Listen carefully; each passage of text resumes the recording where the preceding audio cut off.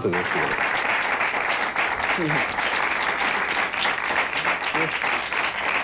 See, every time I see you, you're uh, two things. You're more of a celebrity and you're sleepier.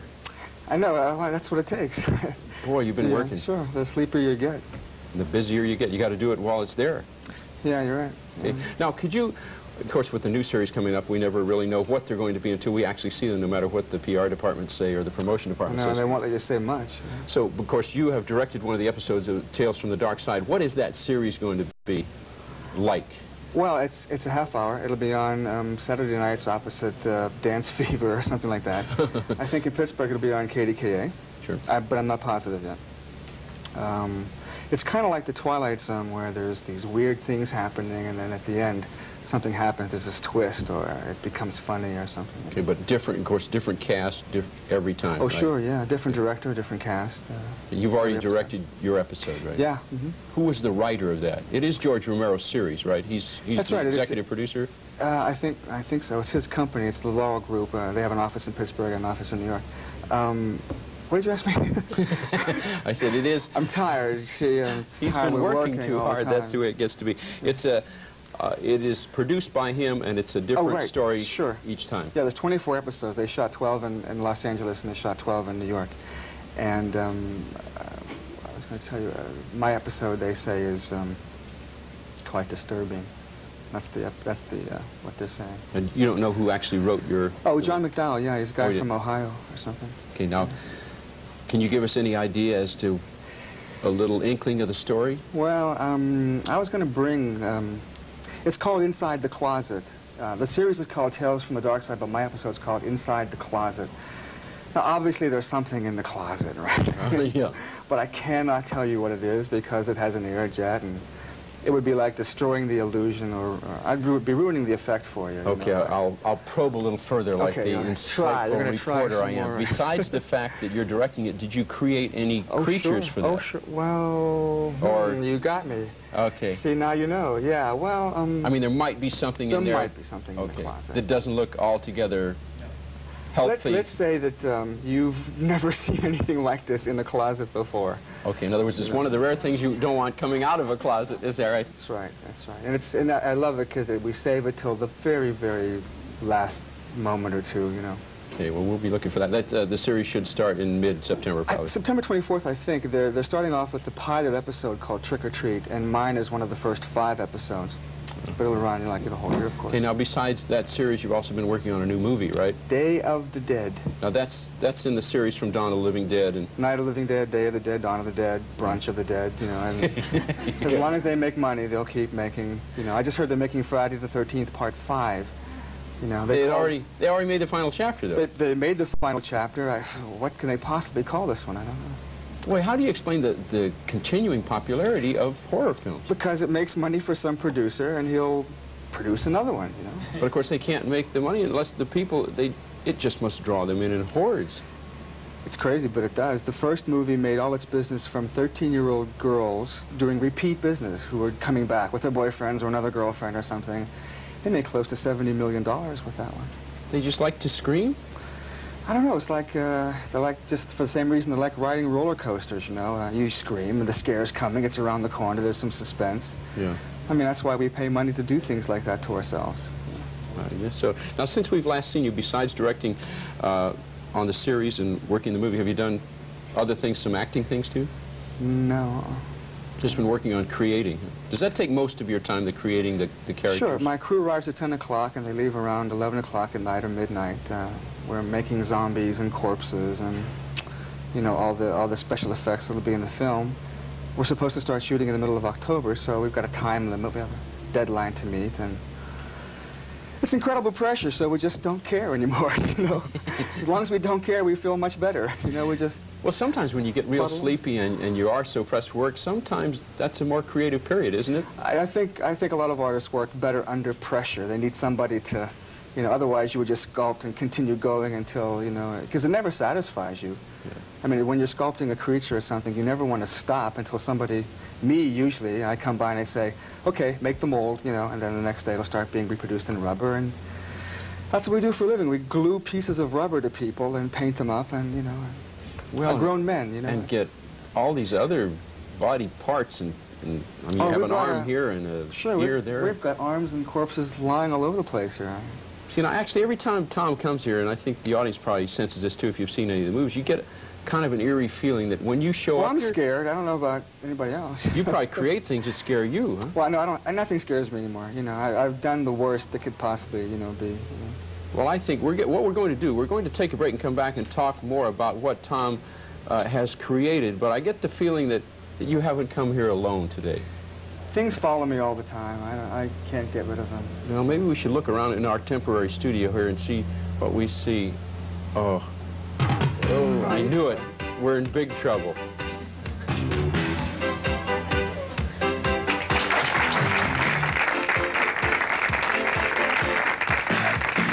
Thought that we've lost our heads by bringing this to you.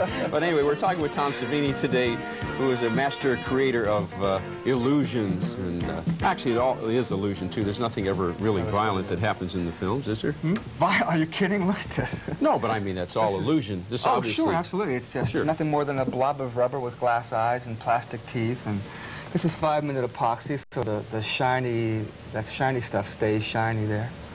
It's red paint. This is yak hair. Yak hair. Sure, you buy it, uh, you buy it by the pound from a guy named Bob Kelly in New York, you know. Crimped or uncrimped, straight. Or...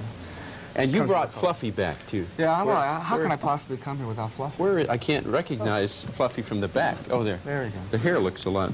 Yeah, this is also yak hair. Of course, if you all saw Creepshow, Fluffy was the big star of Creepshow. Yeah, And you want to make him more? made Adrienne Barbeau look absolutely gorgeous by comparison. Gobbled it up, her up in a few bites. Let's see, there. Can you Anything get it? Ah, there, there there you go. Look at that. Or it'll snarl one one side at a time. The um, the eyebrows.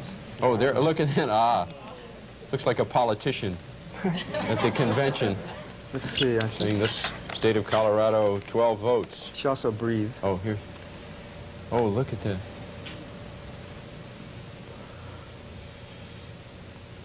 And again, that's five-minute epoxy on her lips. To, I keep calling him her. First time I've called him her. Anyway, to make the lips uh, stay shiny. And this was the puppet. See.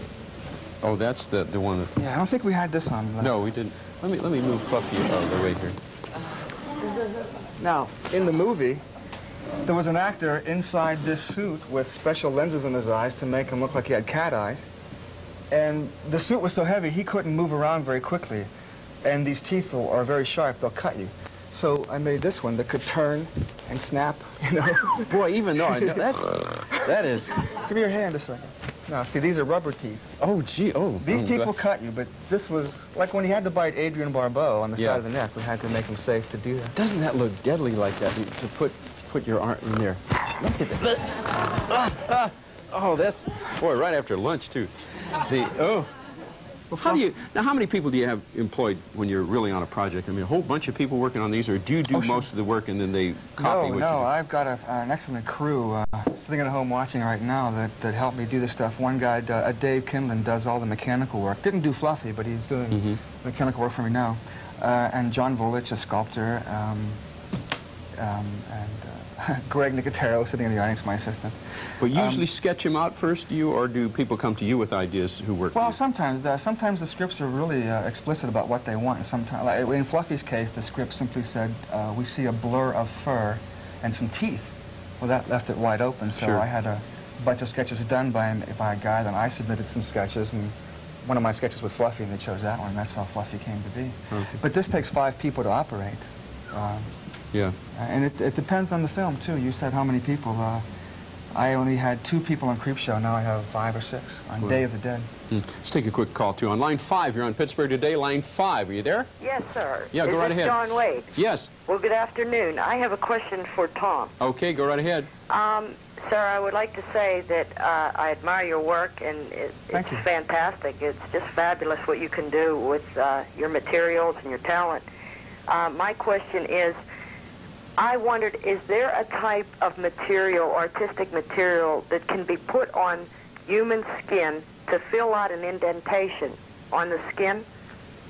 rather than have cosmetic surgery because I was going to have uh, collagen fill in for an indentation. Right. Um,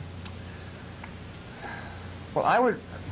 I, I know about that treatment, and it really works. Um, Uh-huh. I think it's a lot. Would be a lot easier for whoever needs it to, to do that than to say use mortician's wax, which is something you would have to, you know, spread on in the morning and. Uh, Yeah, that's the name of that. It's mortician's wax. yeah, yeah. Yeah, That'll that'll do it. That'll give that'll that'll make your smooth really slick and and.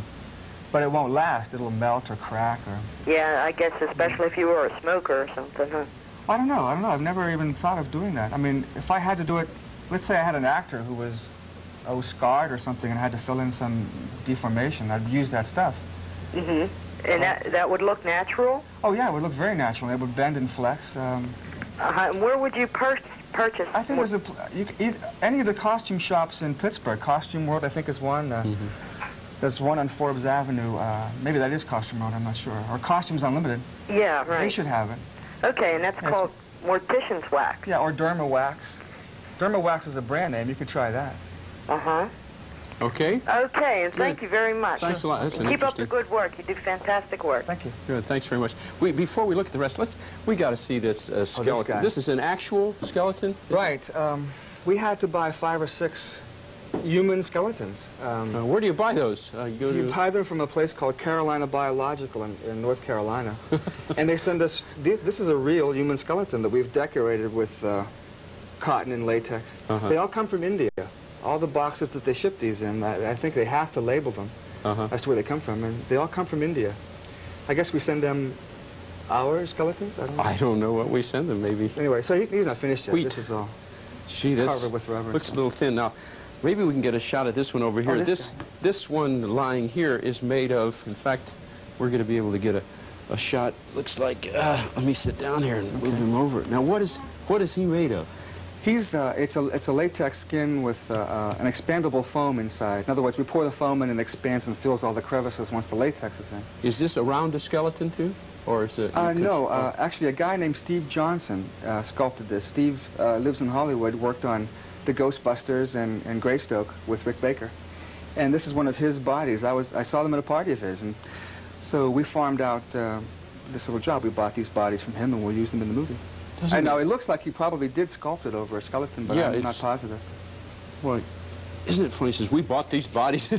Yeah. But if anybody tuned in now, they're from a foreign country, they'd say, I knew America was like that. They take advantage Just everywhere. buy bodies, right? Now, these are, any of these are from the new series, or, Oh, no, no. This is from Creepshow. This is okay, uh, these are ones that had been used. Right, Look Right. out, Fluffy. Right. You all right? This we bought. Uh, there's, a, there's a makeup artist named Ed French, and we called him and said, have you got any body parts laying around? He said, well, I've got these burned hands. Ooh. So we bought these from him. They What's- may, I think they were What's the going in- price for burned hands? that sounds We got these pretty cheap, actually. Oops. Oops. Oh, Oh, he just... let's hear it for the skeleton. Just, just decided to, just went back to India. It's a little rat here. Oh, look at that. Check that Maybe out. we could pass out. Do you want to pass the rat around? Oh, oh, oh. they look so, oh, pass oh, and, it then, around if you want. and this one, Well, now that rat was made for a movie called Maria's Lovers. Uh, Uh-huh. They filmed it in Brownsville. Um, Cannon Films, Robert Mitchum, Nastassja Kinski. There's a scene where the rat, uh, this big disease rat, walks in the room and, cr- and John Savage is having a nightmare. It's part of a nightmare sequence where the rat crawls on the bed and crawls into his mouth, like halfway down his throat. So Oh. half a rat had to stick out of his mouth, uh, looking alive. So we built this mechanical one. oh, let's, See, maybe we can get to the bottom of it right Oh, here. yeah, you can see. see. So that's that's the mechanic. Yeah. Now we would, uh, uh, the actor would wear this in his mouth, and his tongue would operate the tail like that. See the tail going Oh, back and forth? gee. And then we would press a switch over here, and well, the legs aren't connected, you see, but these Oh, little yeah. motors make the legs like go crazy, and when the tail is moving, it looked like it was alive. Do actors ever balk, or actors, actresses balk at doing yeah, some of these things? he did. Uh, he uh, he insisted on a closed set when we did this scene. Yeah. I don't know why. Just putting a rat in your mouth. Well, the rat was was nude or something. Didn't want. And this is that's from uh, Creepshow. yeah, that's this from uh, E.G. Marshall. Right, this is the head where all the cockroaches came. If you saw the film, his chest burst open and all these cockroaches come out like that. They also came out of his mouth first. We pumped them, well, we had the large syringe that was screwed into this hole. We pumped blood into the opening, and the cockroaches got all covered with blood, so when they came out, they left little cockroach footprints all over. I know, it's a living, what can I say? Tom. Tom, he's a sick man, but a nice No, man. I- I, don't I'm understand. not a sick man, I, this is a living. I mean, some people have to uh, plumbers, and I do special effects. Okay. Hey, it's great to see you again. My we wish you well. pleasure. And we uh, want to make known that it starts the series probably around the 24th, and then uh, Tom's uh, particular episode is probably three or four or five weeks in there, right? Right, right. It'll What's the one of title of your episode? Inside the Closet. Inside, the Closet, because I mean that's uh, Tales from the Darkside on CBS. And Tom, it's great to see you. And we hope My you pleasure. drop back regularly. Hope you get some sleep too. Yeah, thanks. We don't want you coming in here looking like one of these sometime. Um, well, I don't know which one that would. Probably this guy. okay. Last time you you're not wearing your eyes and your teeth today. no, I thought I wouldn't bring those today. You Next look- time. Your folks will love you this way. We're going to take a break, and guess who's here? Clara Peller. Going to be right back. Oh, there's a rat. Be right back. Nice hands for Tom Savini.